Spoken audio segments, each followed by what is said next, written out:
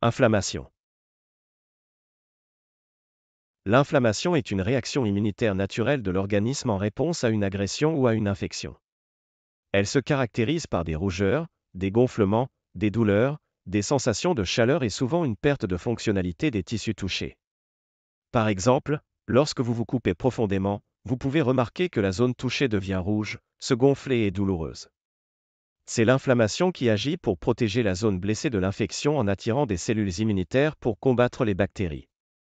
Une maladie comme la polyarthrite rhumatoïde peut également provoquer une inflammation chronique et prolongée des articulations, ce qui peut entraîner une douleur, une raideur et une perte de mobilité.